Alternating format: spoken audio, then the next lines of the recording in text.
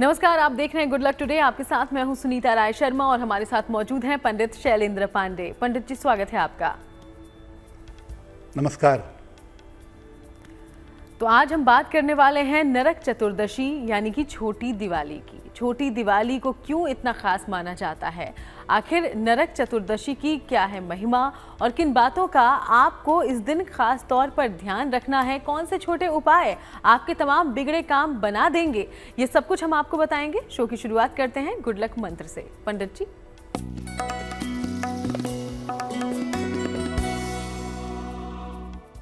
देखिए नरक चतुर्दशी पर, शाम के समय, यानी छोटी दीपावली पर, शाम के समय हनुमान मंदिर में लाल वस्त्र अर्पित करना चाहिए। लाल वस्त्र कितना भी लंबा हो सकता है, लाल वस्त्र हनुमान मंदिर में चढ़ाइए। अगर आप ऐसा करते हैं तो इससे आप मुकदमे से और विवादों से बड़ी आसानी से छुटकारा पा जाएँगे। तो छोटी दीपावली पर आप एक लाल वस्त्र हनुमान जी के मंदिर में चढ़ाएँ और मुकदमे विवादों से छुटकारा पाने का प्रयास करें, पाने की प्रार्थना करें। और चलिए अब बात पंचांग की करते हैं। तो 11 नवंबर का पंचांग क्या कहता है? जान लेंगे पंडित जी से। दिनांक 11 नवंबर 2023 दिन शनिवार, तिथि है कार्तिक कृष्ण पक्ष की त्रयोदशी तिथि, दोपहर एक बज के संतावन मिनट तक। नक्षत्र है चित्रा नक्षत्र। चंद्रमा कन्या राशि में संचरण कर रहे हैं, दोपहर एक बज के दो मिनट तक। राहु काल का समय प्रातः काल नौ बजे से दस बजकर तीस मिनट तक। पूर्व दिशा की तरफ़ यात्रा करने की मनाही है, लेकिन अगर यात्रा करना ज़रूरी है, मजबूरी है तो जरा सा घी खाकर और भगवान का स्मरण करके यात्रा करेंगे तो मुश्किल से बचे रहेंगे। और चलिए अब हम चर्चा की शुरुआत करते हैं। तो नरक चतुर्दशी का पर्व है क्या? इसकी क्या महिमा है? इसका महत्व क्या है? सबसे पहले ये जान लेते हैं। पंडित जी। जी। देखिए, दीपावली के एक दिन पहले का जो दिन होता है, जिसको हम छोटी दीपावली भी कहते हैं, वो दिन सौंदर्य प्राप्ति का दिन है और आयु प्राप्ति का दिन है। इस दिन आयु के देवता यमराज की उपासना की जाती है और सौंदर्य प्राप्ति का प्रयोग किया जाता है। इस दिन भगवान कृष्ण की उपासना भी की जाती है, क्योंकि इसी दिन माना जाता है, उन्होंने नरकासुर का वध किया था। कहीं कहीं पर यह भी माना जाता है कि छोटी दीपावली के दिन हनुमान जी का जन्म भी हुआ था। जीवन में अगर आयु की समस्या है या स्वास्थ्य की समस्या है तो इस दिन के प्रयोगों से आयु और स्वास्थ्य की समस्या दूर होती है। नरकासुर की वजह से इसको नरक चतुर्दशी कहते हैं, लेकिन वास्तव में इस दिन पूजा उपासना करने से, इस दिन प्रार्थना करने से नरक का निवारण होता है या नरक में जाने से मुक्ति मिलती है। इसीलिए इसका सही नाम नरक निवारण चतुर्दशी है। तो इस बार नरक निवारण चतुर्दशी 11 नवंबर को है, जिसका हम पालन करेंगे, नरक के कष्टों से बचेंगे, सौंदर्य प्राप्त करेंगे और लंबी आयु का वरदान जीवन में प्राप्त होगा। जी हाँ और इसके क्या तरीके होंगे, क्या उपाय आप करेंगे, इसके बारे में आगे तो जानकारी लेंगे ही। उसके पहले राशिफल की शुरुआत कर लेते हैं। मेष, वृषभ और मिथुन राशि का दैनिक राशिफल क्या है, जान लेते हैं पंडित जी से।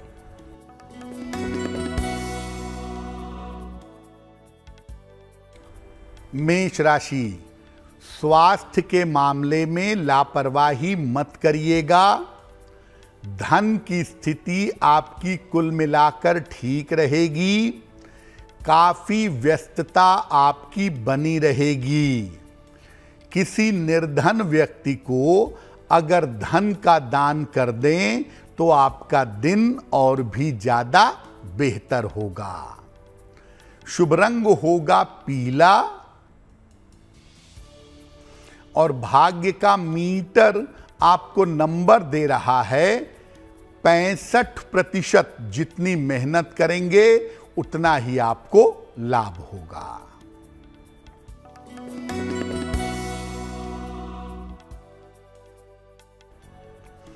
वृषभ राशि, संतान की उन्नति होगी, आकस्मिक धन का लाभ होगा, मानसिक चिंताएँ आपकी कम होंगी। खाने पीने की वस्तु का अगर दान कर दें तो आपका दिन और भी ज़्यादा बेहतर होगा। शुभ रंग होगा हरा और भाग्य का मीटर आपको नंबर दे रहा है। पचहत्तर प्रतिशत उत्तम भाग्य आपके साथ बना हुआ है।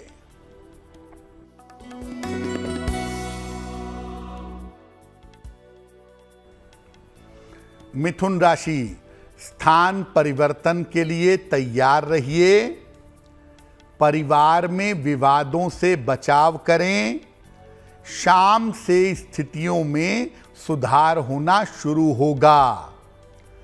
शनि मंत्र का अगर जप कर लें, ओम शं शनैश्वराय नमः तो दिन की मुश्किलें बहुत हद तक कम हो जाएँगी। शुभ रंग होगा सफ़ेद और भाग्य का मीटर आपको नंबर दे रहा है, पैंसठ प्रतिशत जितनी मेहनत करेंगे, उतना ही आपको लाभ होगा। तो आज हम नरक चतुर्दशी की महिमा समझने की कोशिश कर रहे हैं। पंडित जी, इस दिन के कई अलग अलग गुण बताए गए हैं। इसमें से एक संबंध, स्नान और सौंदर्य से भी है। लेकिन कैसे इस दिन को सौंदर्य से जोड़कर देखा जाता है, स्नान से देख, देखा जाता है जोड़कर? नरक निवारण चतुर्दशी या नरक चतुर्दशी को रूप चतुर्दशी भी कहते हैं। क्या संबंध है इसका सौंदर्य से? इस दिन प्रातः काल या सायंकाल चंद्रमा की रोशनी में जल से स्नान करना चाहिए। इस दिन विशेष चीज़ का उबटन लगाकर नहाना अच्छा होता है। जल जो है, वो गर्म ना हो, ताज़ा या शीतल जल होना चाहिए। ऐसा करने से न केवल अद्भुत सौंदर्य की और रूप की प्राप्ति होती है, बल्कि स्वास्थ्य की तमाम समस्याएँ दूर होती हैं। इस दिन स्नान करने के बाद दीपक भी जलाया जाता है पवित्र नदियों के किनारे या मंदिरों में इस दिन दीपक जलाना बहुत अच्छा होता है। तो अगर आप नरक निवारण चतुर्दशी पर अर्ली मॉर्निंग भोर में या शाम को सूर्यास्त के बाद उबटन लगा करके स्नान करते हैं उसके बाद नदी के किनारे या मंदिर में दीप दान करते हैं तो इसके परिणाम, इसके प्रभाव आपके लिए बहुत बेहतर होंगे। और इससे आपको रूप सौंदर्य की प्राप्ति होगी और आपका स्वास्थ्य लगातार बेहतर होता चला जाएगा। और चलिए अब बात कर लेते हैं कर्क सिंह और कन्या राशि की। फिर एक बार नरक चतुर्दशी को लेकर जानकारी लेंगे पंडित जी से।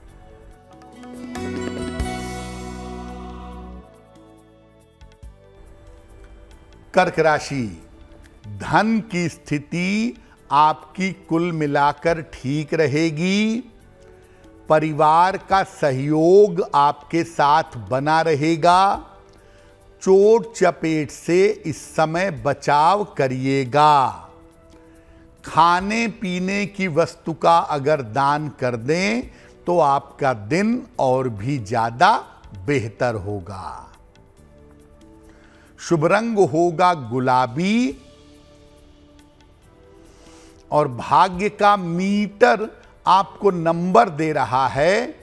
सत्तर प्रतिशत मध्यम भाग्य आपके साथ बना हुआ है।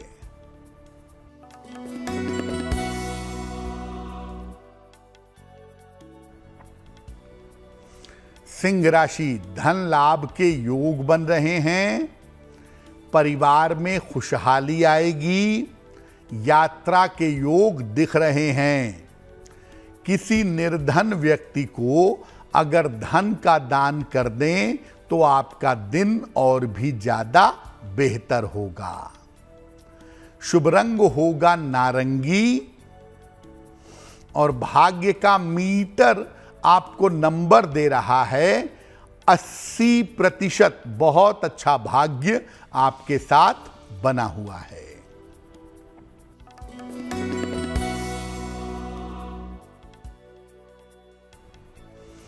कन्या राशि आर्थिक स्थिति में सुधार होगा।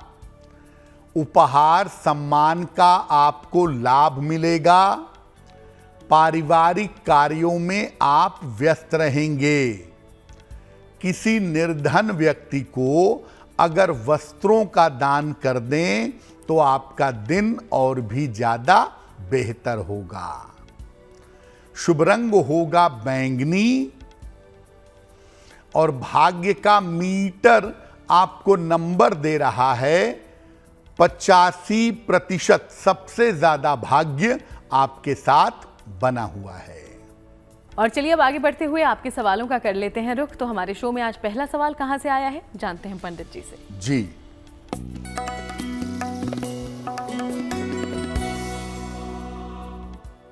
आज का पहला प्रश्न नम्रता जी ने हमें लिखा है और नम्रता जी हमें फरीदाबाद से मेल लिखती हैं। इनकी जन्म की तारीख है सात फरवरी 1981 1981 जन्म का समय शाम को चार बज के दस मिनट और जन्म का स्थान है दिल्ली। मेल लिखती हैं फरीदाबाद से। नम्रता जी लिख रही हैं कि पारिवारिक जीवन में अशांति बहुत है। बहुत समय से कोशिश कर रही हैं कि जीवन बेहतर हो जाए, लेकिन जीवन बेहतर नहीं हो पा रहा है। तो क्या ये विवाह आगे चल पाएगा? आगे का वैवाहिक जीवन कैसा रहेगा? नम्रता आपकी कुंडली के हिसाब से आपका विवाह आगे ज़रूर चलेगा। बहुत परेशान होने की या चिंता करने की स्थिति नहीं है। आपकी कुंडली में चीज़ें जुलाई 2024 से बेहतर हो जाएँगी और आगे आपका विवाह बचेगा भी और चलेगा भी।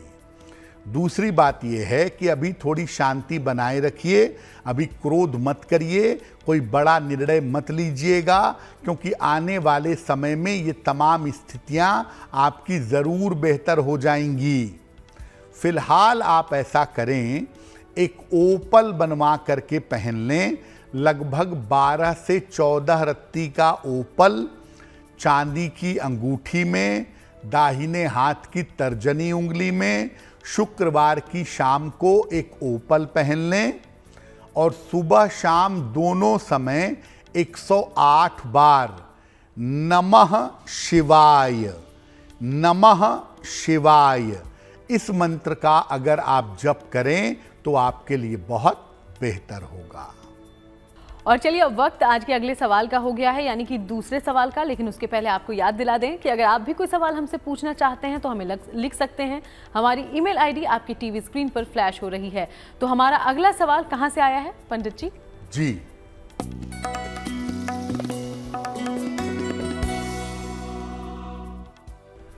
अगला प्रश्न हमें अभिषेक जी ने लिखा है और अभिषेक जी हमें इटावा से मेल लिखते हैं।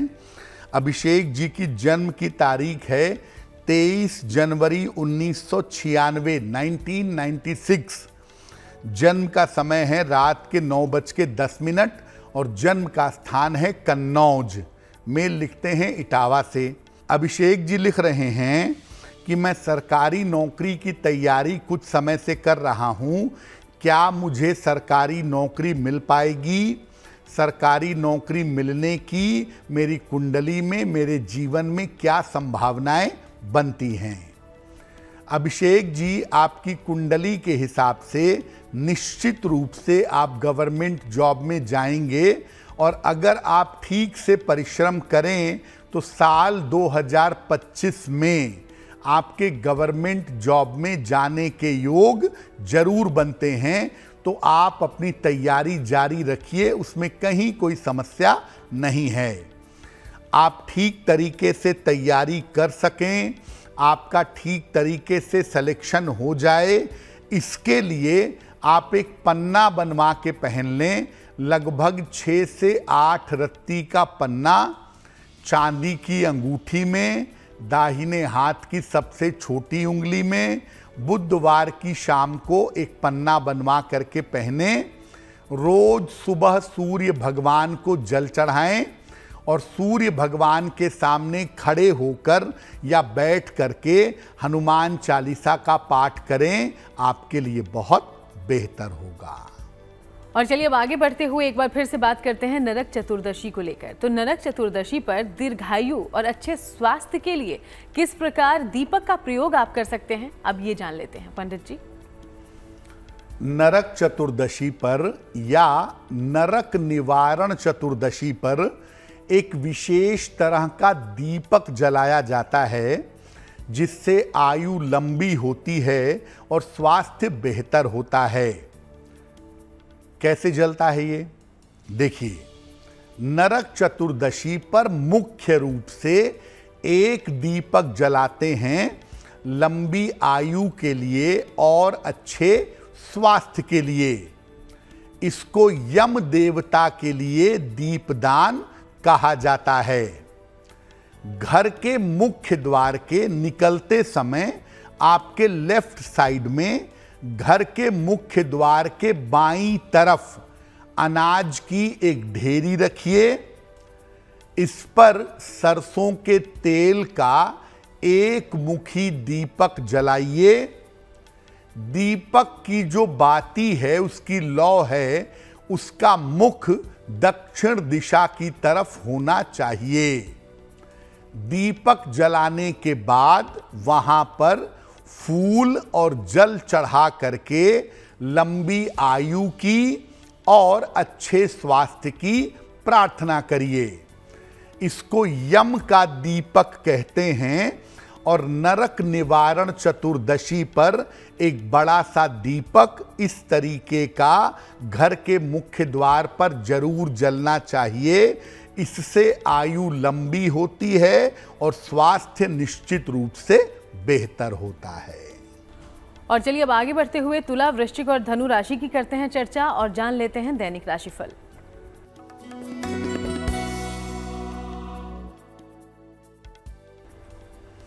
तुला राशि धन के नुकसान से फ़िलहाल बचाव करिए।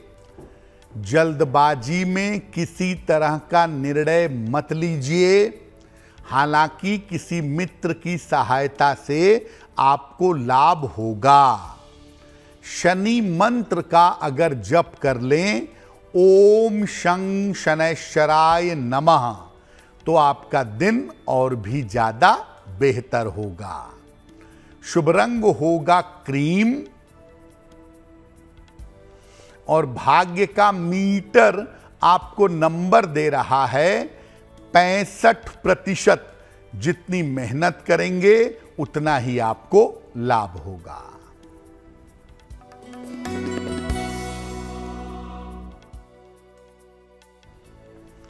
वृश्चिक राशि, धन लाभ के योग बन रहे हैं। संपत्ति की समस्याएँ हल होंगी। वाहन का सुख आपको प्राप्त होगा। किसी निर्धन व्यक्ति को अगर धन का दान कर दें तो आपका दिन और भी ज़्यादा बेहतर होगा। शुभ रंग होगा लाल और भाग्य का मीटर आपको नंबर दे रहा है। सत्तर प्रतिशत मध्यम भाग्य आपके साथ बना हुआ है।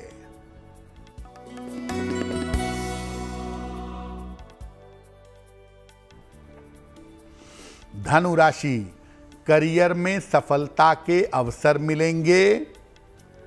संतान की खूब उन्नति होगी। परिवार का सहयोग मिलेगा।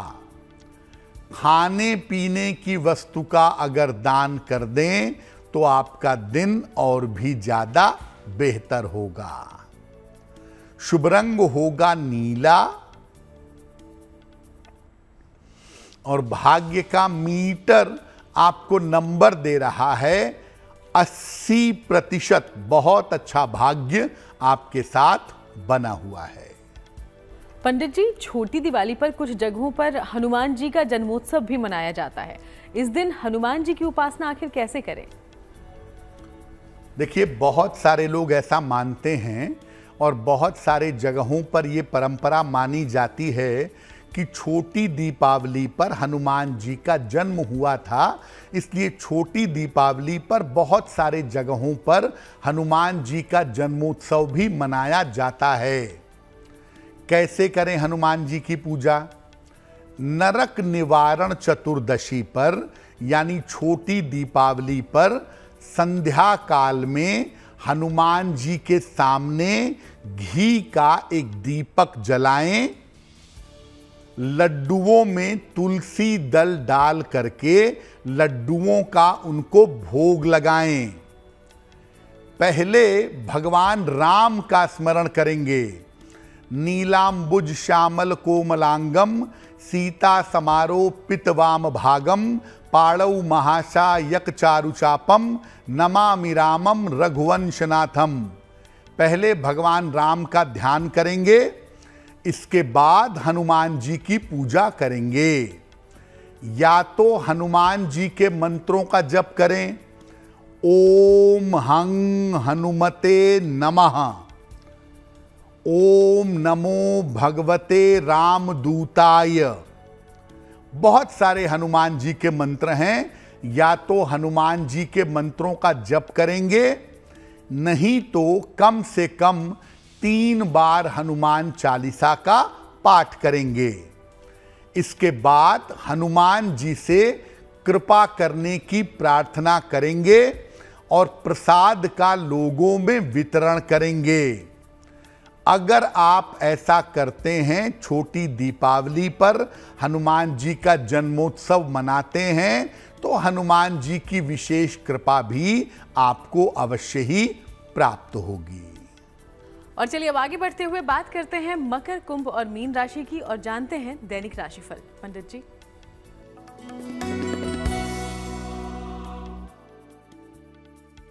मकर राशि, थोड़ा प्रयास करेंगे एफर्ट करेंगे तो आपके रुके हुए काम पूरे होंगे।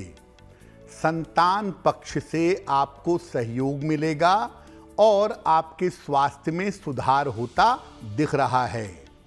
खाने पीने की वस्तु का अगर आप दान कर दें तो आपका दिन और भी ज़्यादा बेहतर होगा। शुभ रंग होगा हरा और भाग्य का मीटर आपको नंबर दे रहा है। पचहत्तर प्रतिशत उत्तम भाग्य आपके साथ बना हुआ है।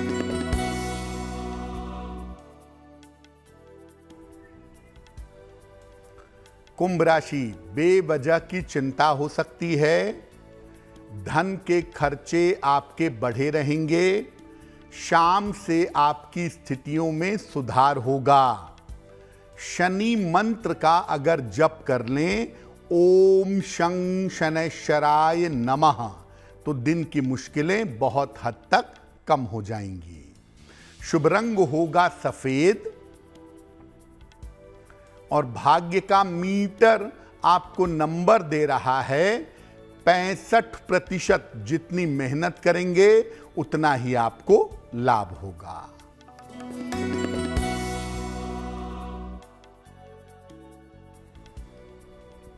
मीन राशि, विवाह आपका तय हो सकता है। कारोबार में लाभ के योग बन रहे हैं। चोट चपेट से इस समय बचाव करें। किसी निर्धन व्यक्ति को अगर वस्त्रों का दान कर दें तो आपका दिन और भी ज़्यादा बेहतर होगा। शुभ रंग होगा धानी और भाग्य का मीटर आपको नंबर दे रहा है। सत्तर प्रतिशत मध्यम भाग्य आपके साथ बना हुआ है। पंडित जी जब हम नरक चतुर्दशी की बात कर रहे हैं तो आपने बताया कि इस दिन यमराज की पूजा खास तौर पर की जाती जी, है। जी जी। तो क्या अन्य दिनों में भी कोई यमराज की पूजा करके वरदान पा सकता है? देखिए नरक निवारण चतुर्दशी पर जो सरसों के तेल का दीपक घर के मुख्य द्वार पर जलता है उसे यम का दीपक कहते हैं और यमराज की प्रसन्नता के लिए उसको जलाते हैं। सामान्यतः वर्ष भर में दो बार ऐसे मौके आते हैं जब यम देवता की विशेष पूजा की जाती है। एक मौका तो नरक निवारण चतुर्दशी का ही होता है और दूसरा मौका होता है भातृ द्वितीया का, जिसे भैया दूज कहते हैं। भैया दूज पर भी यमराज से प्रार्थना की जाती है अपने भाई की लंबी आयु की और उनके रक्षा की कामना इस दिन करते हैं। तो नरक निवारण चतुर्दशी पर और भाई दूज पर सामान्यतः यम देवता की पूजा की जाती है और ये पूजा सामान्यतः मंगलकारी होती है। इसके अलावा यम देवता की पूजा नहीं करते हैं। अगर हम यमराज को समझें तो यमराज को एक और तरीके से हिंदू धर्म शास्त्रों में दिखाया गया है आयु के देवता के अलावा यमराज ब्रह्म साधना के आचार्य भी हैं। और कठोपनिषद में यम देवता ने नचिकेता को ईश्वर की उपलब्धि के मार्ग भी बताए गए हैं। वहाँ भी यमराज का उल्लेख आता है। तो यमराज की पूजा केवल आयु और स्वास्थ्य के लिए नहीं की जाती। यमराज की उपासना और यमराज के भाव को अगर आप समझें तो ईश्वर की उपलब्धि भी आप निश्चित रूप से कर सकते हैं। और चलिए अब आगे बढ़ते हुए आपके सवालों का रुख कर लेते हैं। तो हमारे शो में तीसरा सवाल कहाँ से आया है? जान लेंगे पंडित जी से। जी।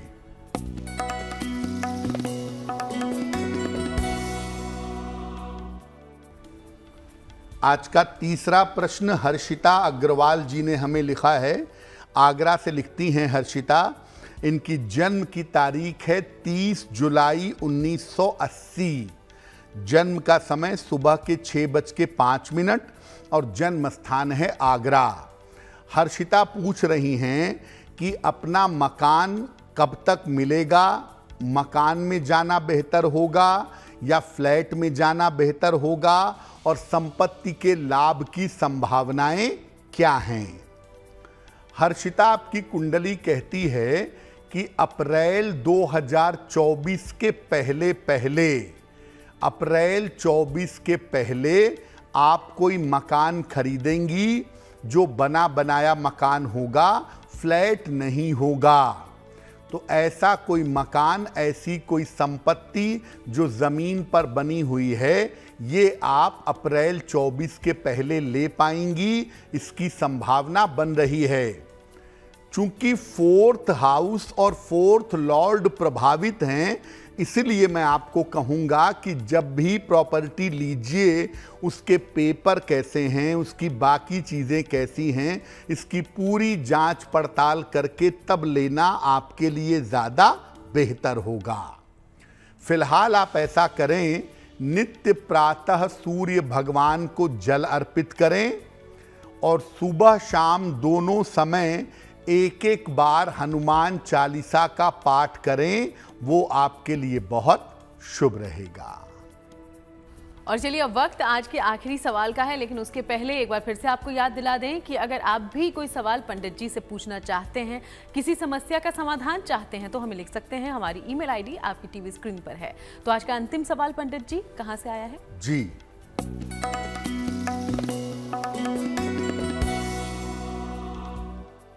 आज का अंतिम प्रश्न दीपक मिश्रा जी ने हमें लिखा है। प्रयागराज से लिखते हैं ये। दीपक जी की जन्म की तारीख है 11 अप्रैल उन्नीस 1992 जन्म का समय शाम के चार बज के तीस मिनट और जन्म का स्थान है प्रयागराज। दीपक जी पूछ रहे हैं कि मेरा विवाह कब तक होगा, विवाह कहाँ पर होगा और वैवाहिक जीवन मेरा कैसा रहेगा? दीपक जी, आपकी कुंडली के हिसाब से आपका विवाह 2024 में जून से दिसंबर के बीच में होने की संभावना दिखाई देती है। ये विवाह प्रयागराज या प्रयागराज के आसपास ही होगा और आपका वैवाहिक जीवन कुल मिला जुलाकर कुंडली में बेहतर दिख रहा है। लेकिन अभी का जो समय है आपका, वो जून 2024 तक आपके स्वास्थ्य में दिक्कतें दिखा रहा है। स्वास्थ्य का और दुर्घटनाओं का बहुत ध्यान आपको बनाए रखना चाहिए। फ़िलहाल आप ऐसा करें, एक ओपल बनवा के पहने, लगभग 10-12 रत्ती का ओपल, चांदी की अंगूठी में दाहिने हाथ की तर्जनी उंगली में शुक्रवार की शाम को एक ओपल बनवा के पहने और सुबह शाम दोनों समय अगर आप नमः शिवाय का जप करें तो वो आपके लिए बहुत बेहतर होगा। पंडित जी एक और जानकारी कई लोग क्योंकि लाइटिंग का इस्तेमाल करते हैं दिवाली से पहले लेकिन दीपक का खास तौर पर महत्व बताया गया है। तो क्या दिवाली से पहले हम दीपक भी जला सकते हैं घर को खूबसूरत बनाने के लिए सजाने के लिए या हमें दिवाली तक का इंतज़ार करना चाहिए? बिल्कुल। देखिए जो ये पंच पर्व है ये शुरू होता है धनतेरस पर। धनतेरस पर हम दीपक जलाते हैं एक दीपक कुबेर जी के लिए और एक दीपक धनवंतरी के लिए। छोटी दीपावली पर या नरक निवारण चतुर्दशी पर हम एक दीपक जलाते हैं यम देवता के लिए। और दीपावली पर माता लक्ष्मी और भगवान गणेश की पूजा करते हैं, दीपकों की पूजा करते हैं और दीपक से पूरे घर को अपने सजाते हैं, प्रकाशवान करते हैं। अब इसमें एक बात समझने की ये बहुत महत्वपूर्ण है आपके लिए कि आप नरक चतुर्दशी पर भी केवल एक ही दीपक मुख्य रूप से अपने घर के मुख्य द्वार पर जलाएँगे और जो सामान्यता अपने घर में पूजा स्थान पर दीपक जलाते हैं, वो भी जलाते रहिए, उसमें भी कोई दिक्कत नहीं है। लेकिन दीपकों की भी पूजा होती है और दीपकों की पूजा होती है दीपावली पर। तो दीपावली पर जब पाँच या सात दीपकों की पूजा हो जाती है, तब आप पूरे घर में दीपक जला सकते हैं, पूरे घर में दीपकों का प्रकाश पैदा कर सकते हैं।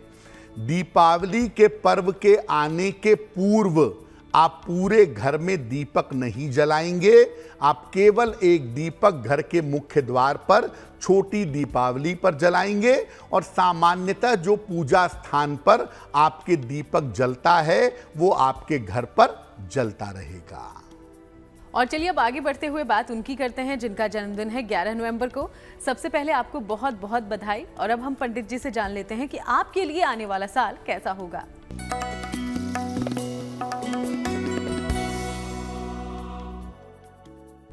जिन लोगों का जन्मदिन 11 नवंबर को है, उन्हें हम सबकी तरफ़ से जन्मदिन की हार्दिक शुभकामनाएँ। आने वाले वर्ष में आपके करियर की समस्याएँ हल होंगी। धन और कर्ज की स्थिति में आपके सुधार होगा। इस साल आपका स्थान परिवर्तन भी हो सकता है। स्वास्थ्य की समस्याओं का खास तौर से कोई ऑपरेशन ना हो, कोई सर्जरी ना हो, इसका ध्यान बनाए रखना ज़रूरी होगा। क्या करेंगे? पूरे साल भर भगवान शिव की अगर आप उपासना करें तो आपके लिए बहुत बेहतर रहेगा। और अब बारी है आज की जिज्ञासा की। जिज्ञासा में सवाल ये है, पंडित जी, कि क्या नरक चतुर्दशी के दिन भी दान करना शुभ होता है? क्योंकि सनातन धर्म में तो हर त्योहार, हर पर्व पर दान का महत्व बताया गया है।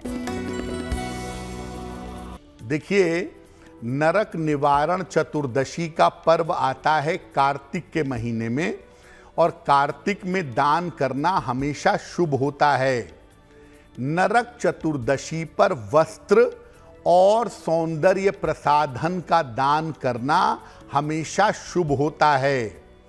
और अगर ये दान किसी सौभाग्यवती स्त्री को किया जाए तो इसके परिणाम ज़्यादा बेहतर होंगे, ज़्यादा शुभ होंगे। और अब जान लेते हैं शुभ पहर के बारे में। तो 11 नवंबर का शुभ पहर, आखिर कौन सा होगा? पंडित जी। दिनांक 11 नवंबर 2023 दिन शनिवार का शुभ पहर। शुभ पहर का समय है शाम को छह बजे से सात बजकर तीस मिनट के बीच में। इस समय में घर के मुख्य द्वार पर सरसों के तेल का एक दीपक जलाइए। इससे समस्त परिवार के आयु की और समस्त परिवार के स्वास्थ्य की रक्षा होगी। लेकिन करेंगे शुभ पहर में ही समय फिर से नोट करें। 11 नवंबर, शनिवार, शाम को 6 बजे से सात बजकर तीस मिनट के बीच में। और अब बात करते हैं आज की गुड लक राशि की, जो कि है वृश्चिक। वृश्चिक राशि के बारे में आज पंडित जी क्या जानकारी दे रहे हैं, जान लेंगे।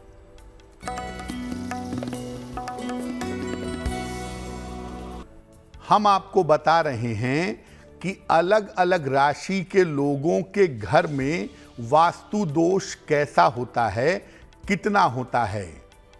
आज की जो गुडलक राशि है, वो है वृश्चिक। सामान्यतः इनके घर में वास्तु दोष ज़रूर होता है। और ये वास्तु दोष सीलन की वजह से होता है या गलत दिशा में घर होता है उसकी वजह से होता है। इसलिए अगर आपकी राशि वृश्चिक है तो अपने घर में सीलन की स्थिति का ध्यान आपको ज़रूर बनाए रखना होगा। और चलिए अब जान लेते हैं वो महा उपाय जिसके लिए करते हैं आप बेसब्री से इंतज़ार। तो आज महा उपाय में पंडित जी क्या खास लेकर आए हैं? जी।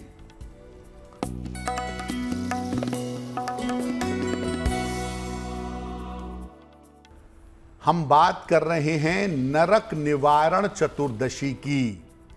नरक निवारण चतुर्दशी पर कर्ज मुक्ति के क्या उपाय होंगे? नरक चतुर्दशी पर रात को एक विशेष प्रयोग करिएगा। हनुमान जी के सामने एक शुद्ध सरसों के तेल का दीपक जलाइएगा और इसके बाद ओम हंग हनुमते रुद्रात्मकाय हूम फट। ओम हंग हनुमते रुद्रात्मकाय हूम फट। इस मंत्र का यथाशक्ति जप करिएगा। कम से कम तीन माला या ग्यारह माला। और जप के बाद हनुमान जी से कर्ज मुक्ति की प्रार्थना करिएगा। अगर आप ऐसा नरक चतुर्दशी की रात्रि पर करते हैं तो इससे आपको कर्ज से मुक्ति अवश्य मिलेगी। बहुत बहुत शुक्रिया आपका पंडित जी ये महा उपाय तमाम दर्शकों तक पहुँचाने के लिए। धन्यवाद। तो चलिए यूँ ही आपसे मुलाकात करते रहेंगे। अलग अलग विषयों पर चर्चा भी जारी रहेगी। फ़िलहाल शो में इतना ही। देश दुनिया की बाकी तमाम खबरों के लिए आप देखते रहिएगा जीएनटी